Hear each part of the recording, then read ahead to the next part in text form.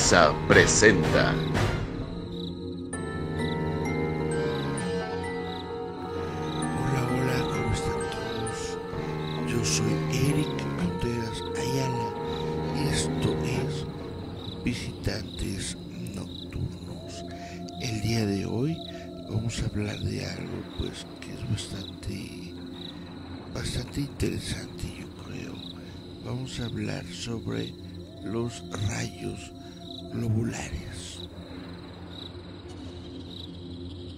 Probablemente solamente diciendo rayo globular vas a decir eso qué es, eso qué, con qué se trata, qué, de dónde sale.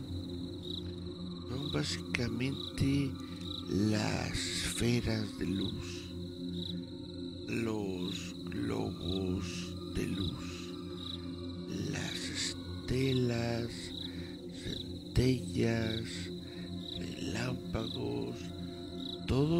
aquellos fenómenos visuales de la luz, de las que alguna vez has visto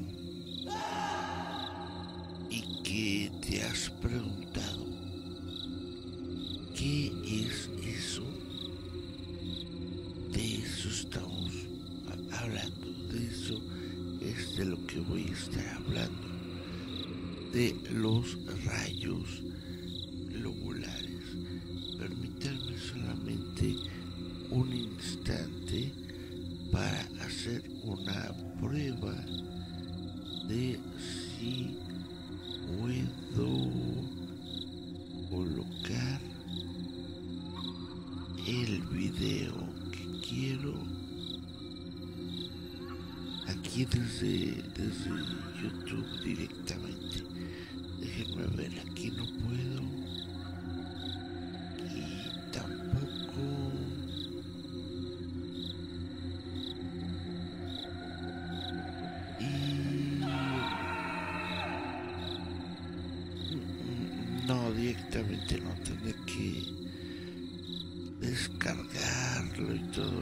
Pero bueno, vamos a comenzar con el programa del día de hoy y ya luego checo todas estas cuestiones más visuales para el programa.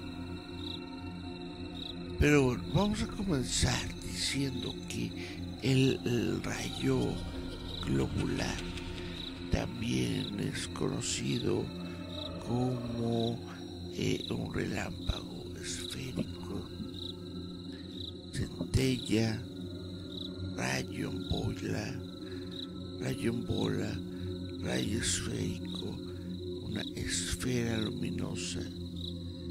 Todo esto se refiere a un fenómeno eléctrico atmosférico que no ha sido explicado y que es potencialmente peligroso. El término se refiere a informes de objetos esféricos luminiscentes que, varía, que varían perdón, desde el tamaño de un guisante hasta varios metros de diámetro, aunque generalmente se asocian con tormentas eléctricas, el fenómeno eh, dura considerablemente más que la fracción de segundo de un rayo. Dos informes del siglo XIX dicen que la esfera finalmente explota, dejando un olor a azufre. Pero esto es más. Bueno, ahorita vamos a ver si es mito o es realidad.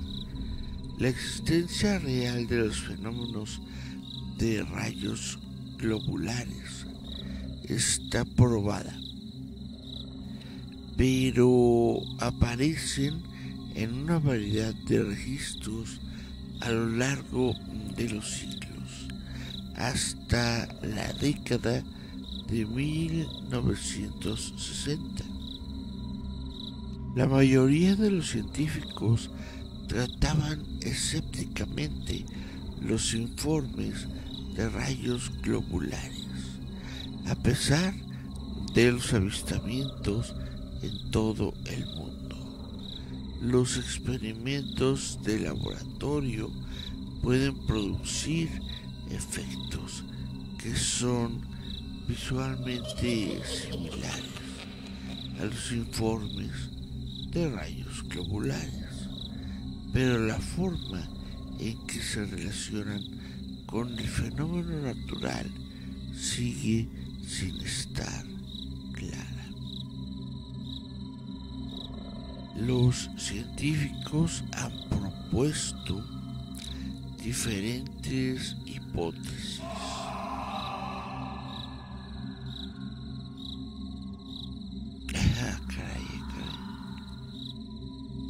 Perdón, los científicos han propuesto muchas hipótesis sobre los rayos globulares.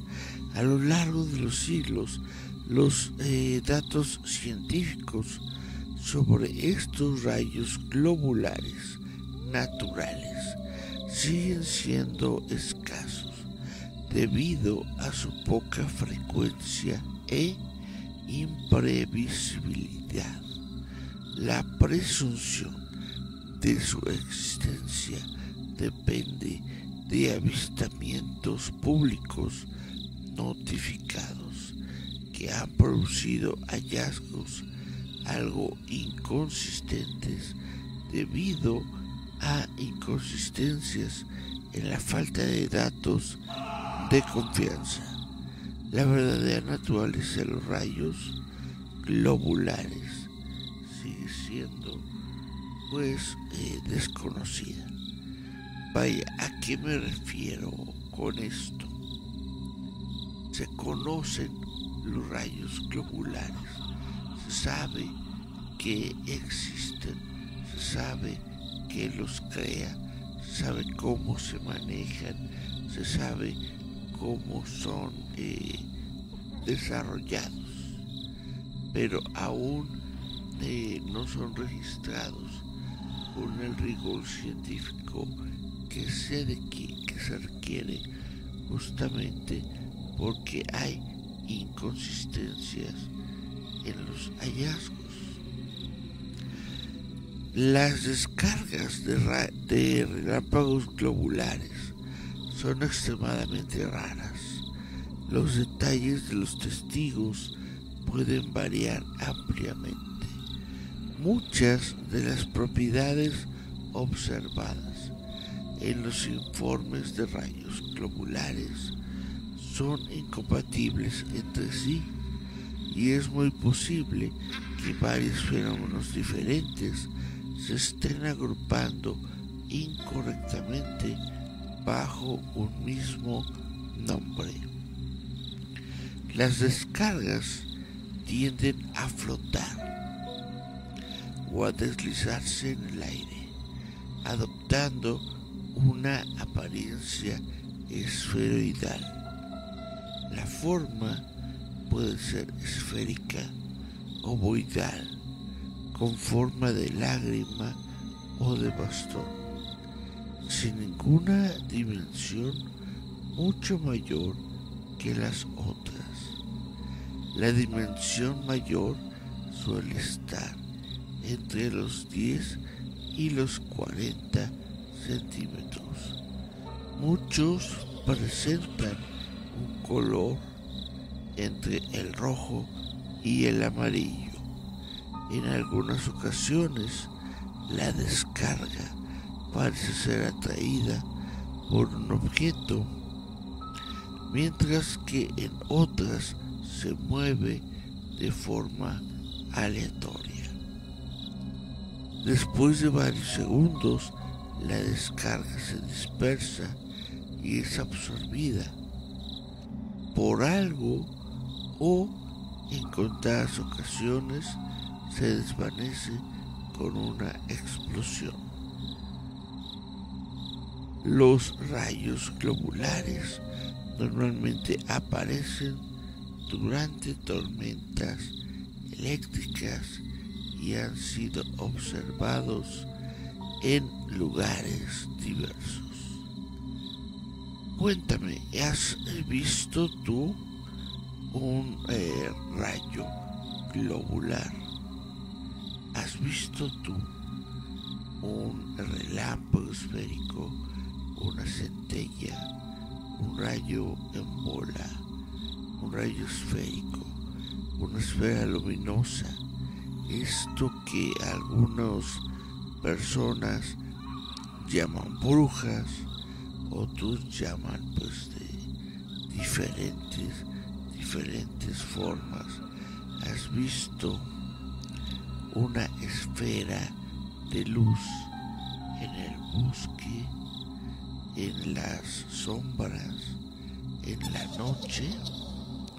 ¿Te lo has encontrado en algún momento? Pues hay otras personas que dicen que sí. Por ejemplo,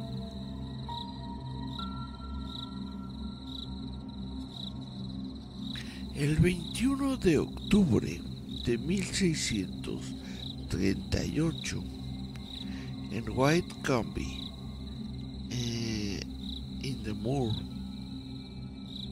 que es una aldea de Devon, en el extremo suroeste de Inglaterra, sucedió la llamada Gran Tormenta Eléctrica o The Great Thunderstorm.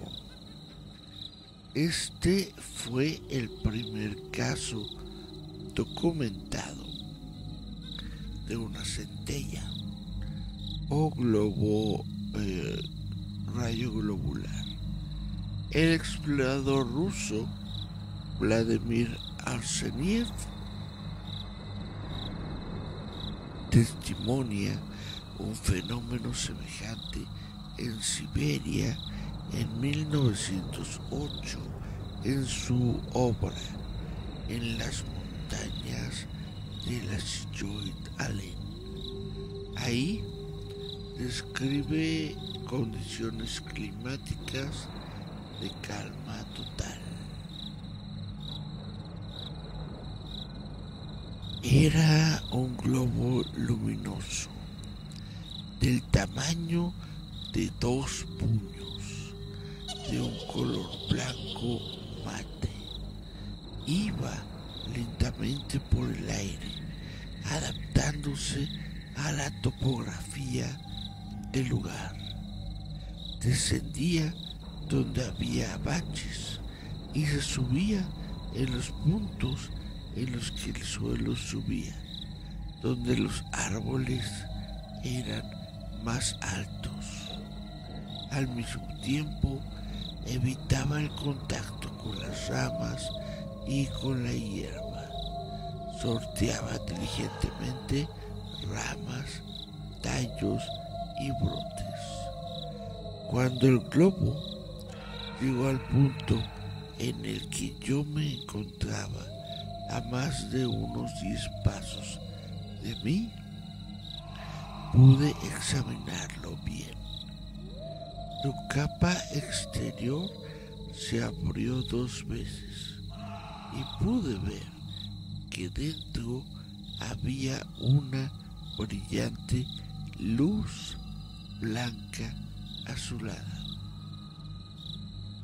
Las hojas, la hierba, las ramas cerca de las que pasaba el globo se iluminaban pálidamente con una luz mate que parecía que se pusiera en movimiento.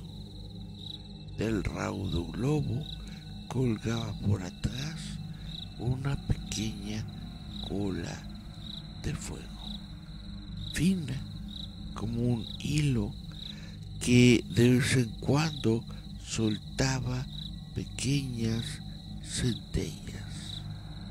Comprendí que tenía delante de mí un rayo esférico, con el cielo despejado y en calma total, cada una de las hebras debía llevar la misma carga eléctrica que el globo y por este motivo no había nunca contacto entre sí. Bueno, esta es la descripción de Vladimir Arseniev. En distintos momentos, aviadores de todo el mundo han informado avistamientos, especialmente durante la Segunda Guerra Mundial, debido al desconocimiento del fenómeno durante este periodo los pilotos los llamaron Foo Fighters. El 25 de febrero del 2012, en la ciudad de Rosario, Argentina, una serie de centellas aparecieron en los patios de las viviendas residenciales del barrio Alberdi, a orillas del río Paraná, al norte de la ciudad. Un testigo sufrió la explosión de una de ellas mientras se encontraba en la cocina de su hogar, evento que derivó en la caída al suelo de su madre y varias denuncias a periódicos locales de parte de los vecinos. Otro informe da cuenta de un rayo globular que se deslizó a lo largo del pasillo de un avión de pasajeros.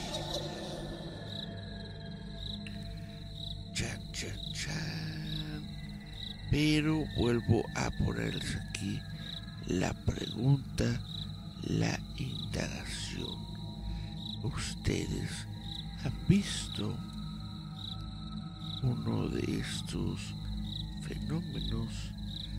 Déjenme sus comentarios. Vamos a ver. Es que tengo una pantalla, para, para un archivo local.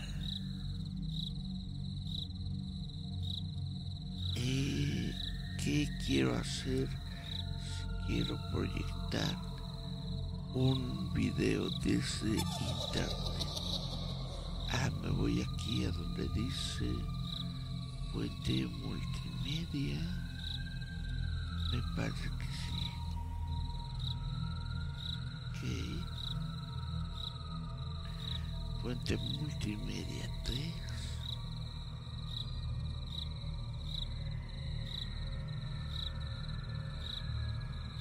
No, pero solamente me registra. Intento vaya a colocar un, de video. No registra el video como tal desde el internet. Disculpe, disculpen ustedes que esté haciendo experimentos en medio del programa pero me resultó interesante ver qué salía, qué surgía. Si ponía esto aquí, esto allá, esto acullá. Pero no, no, no. Ya vi que no. Muy bien, permítanme nada más tirar esta fuente multimedia 3 a la basura, porque ya tenemos otras dos. No hay necesidad de colocar una tercera.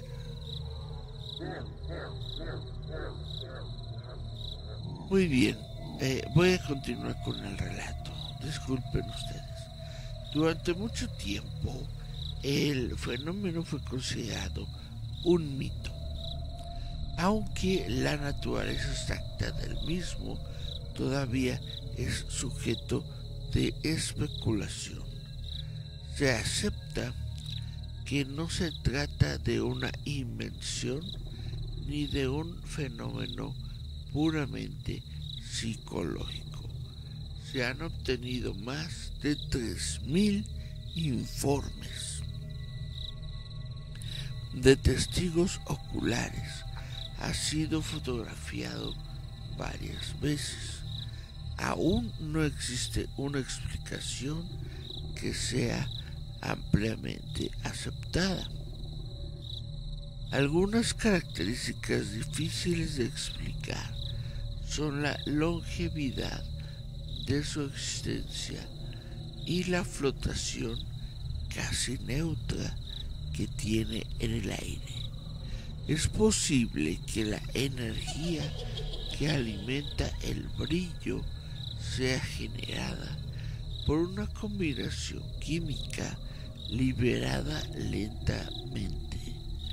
Se han hecho muchos intentos para crear rayos globulares en laboratorios.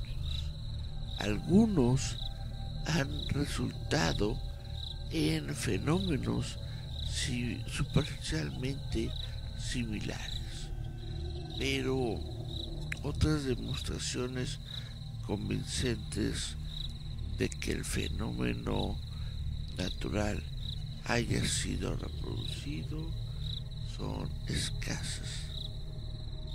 Yo creo que, bueno, eh, esto como al margen de lo que estamos leyendo en estos momentos, estoy casi seguro, no completamente, de que en el, ¿cómo se llama este? El, en el Museo de la Luz, Universum, ¿no? No, no, no. Universum es el es Museo de Ciencias de la UNAM. Y hay otro que se llama el Museo de la Luz. Estoy casi seguro de que eh, en alguno de esos lugares, o en el Universum o en el Museo de la Luz, de hecho tienen o tuvieron o han tenido la capacidad de producir un rayo globular, es decir, una esferita de luz. Estoy casi seguro de haberlo visto, vaya, dentro de un lugar eh, echado de un museo.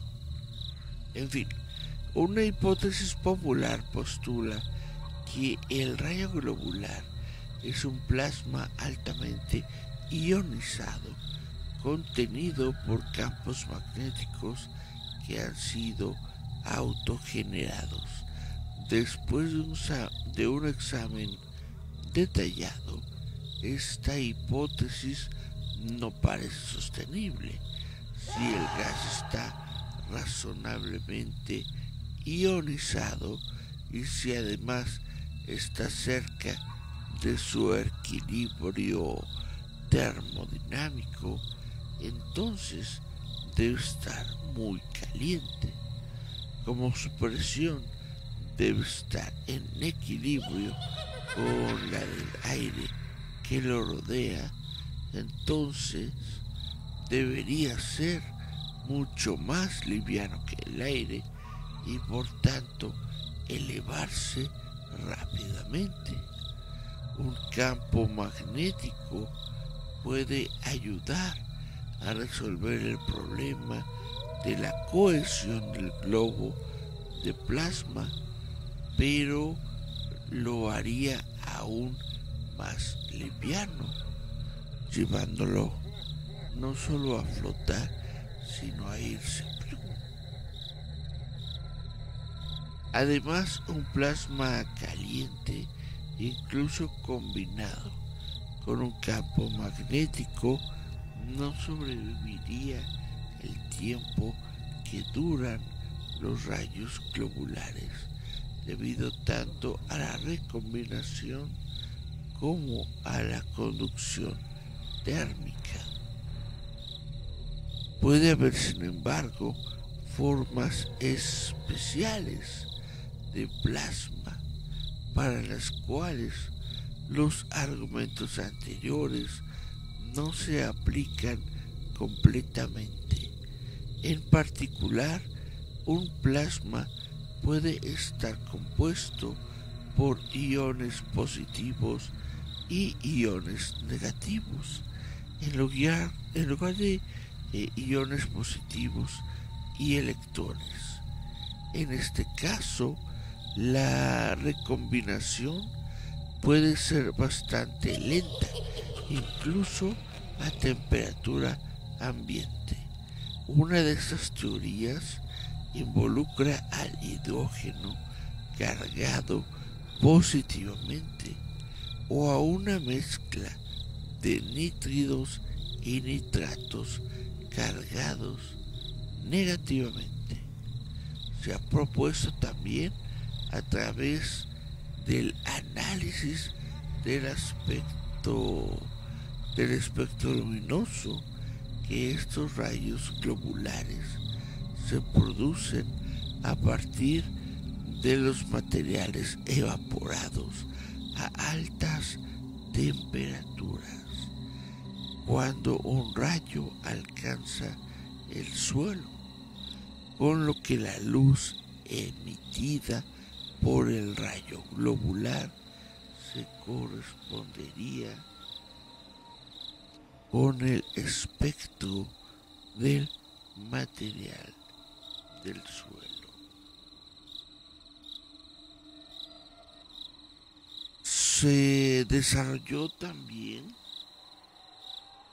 el modelo de un rayo globular que está basado en oscilaciones no lineales con la simetría esférica de varias cargas en el plasma. Estas oscilaciones han sido descritas usando tanto enfoques clásicos como cuánticos. Esto se ha encontrado que las oscilaciones de plasma más intensas se producen en las regiones centrales de un rayo globular. Se sugiere que los estados ligados de partículas cargadas que oscilan radialmente con espinas orientadas en sentido opuesto. El análogo de eh, partes de Cooper que pueden aparecer dentro de un rayo globular. Este fenómeno a su vez puede producir una fase superconductora en un rayo globular. La idea de la superconductividad en un rayo globular ha sido considerada anteriormente. Entonces existe la posibilidad de la existencia de un rayo globular con un núcleo compuesto también en eh, discutir este modelo la posibilidad de la existencia de un rayo globular con un núcleo compuesto. También se discutió en este modelo. Ah, ok, perdón. Yo al final no, leí bien. Pues esto es lo que se tiene sobre el fenómeno del rayo globular de las esferas de luz. Puede llegar a acumularse de cierta forma a tenerla eh, presente dentro de los fenómenos visibles que son eh, parte, forma de aquellas personas que se dedican pues a la exploración eh, o al estudio o al manejo, vaya, qué sé yo, cómo llamarlo, de los fenómenos visibles no identificados.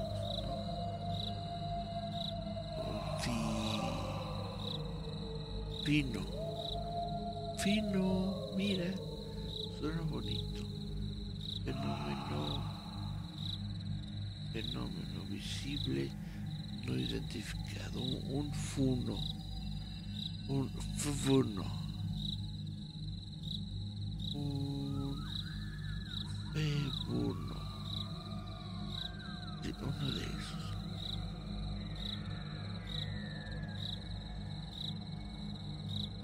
Muy bien, vamos a ver si tenemos mensajes de nuestro bonito público, pero de forma exactamente igual a la de un funo. Resulta que nuestro público se encuentra invisible. Uh. No, bueno, la realidad es que no tenemos público al momento.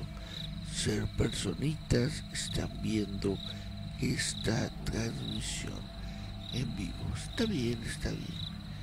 Siempre nos pueden escuchar, nos pueden ver a través de otros medios, principalmente la retransmisión que realizamos de este programa en YouTube, por ejemplo, o puedo eh, avisarles, esto es algo completamente nuevo que quise yo explorar, pero el programa de visitantes nocturnos ya está también en formato de podcast por sí solo.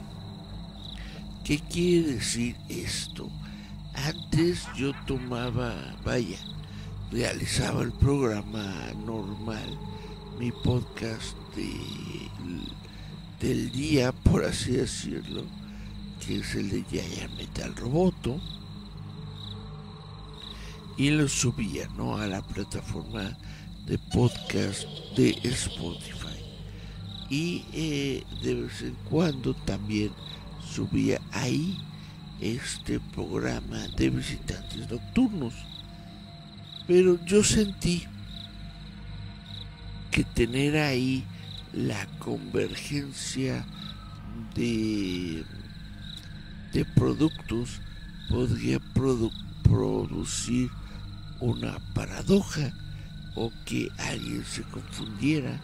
Entonces dije, vamos a crearle su propio programa, es decir, su propio, sí, su propio todo, su propia plataforma, su propio mini sitio, su propio todo.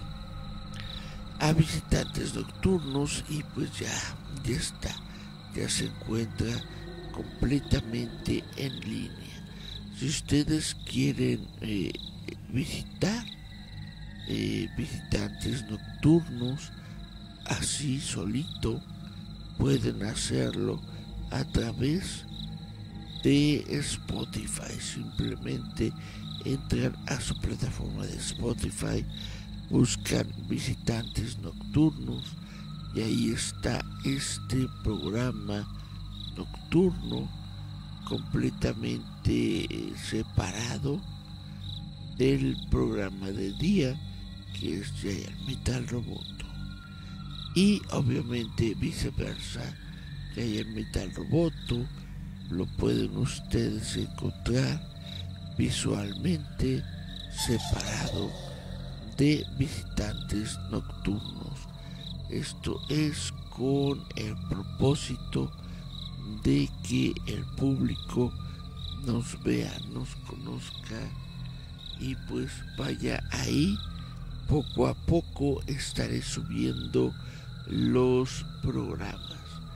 Em, por lo pronto estoy subiendo los programas nuevos como este y estoy también dando subida a los programas pues ya viejitos que tenemos sobre visitantes nocturnos porque tenemos ya tres años tres años de realizar visitantes nocturnos tres años de estar contando estas historias pues eh, paranormales para el público.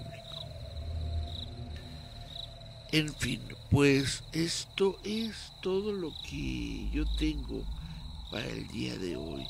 Yo me pareció que era importante platicar con la gente, mencionarles qué son estas esferas, qué son las centellas, qué es este fenómeno de eh, luces que de pronto aparece en el cielo. Pues es un fenómeno, vaya, la ciencia lo conoce en el sentido de que la ciencia lo ha estado tratando de eh, estudiar, de dar el sentido, de darlo a conocer, pero no se tiene exactamente una precisión al 100% de qué es o cómo se produce este fenómeno de las esferas de luz. Lo que sí sabemos es cómo regresar al programa de visitantes nocturnos y esto es a través de Facebook. Así es, nos encontramos todos los sábados a la medianoche a través de facebook.com diagonal roboto mx facebook.com diagonal roboto mx esa es la casa de visitantes nocturnos. Bueno ahora sí dicen que el que mucho se despide poco se quiere ir. Mi nombre es Eric Contreras Ayala. Este programa es visitantes nocturnos. Nos escuchamos, nos vemos la próxima semana, misma situación, mismo canal, ahí en facebook.com, diagonal roboto mx, le doy muchas, muchas gracias a quienes nos dan el privilegio de su audiencia, pero por hoy todo esto ha terminado. Chao, chao, chao. Chao, chao.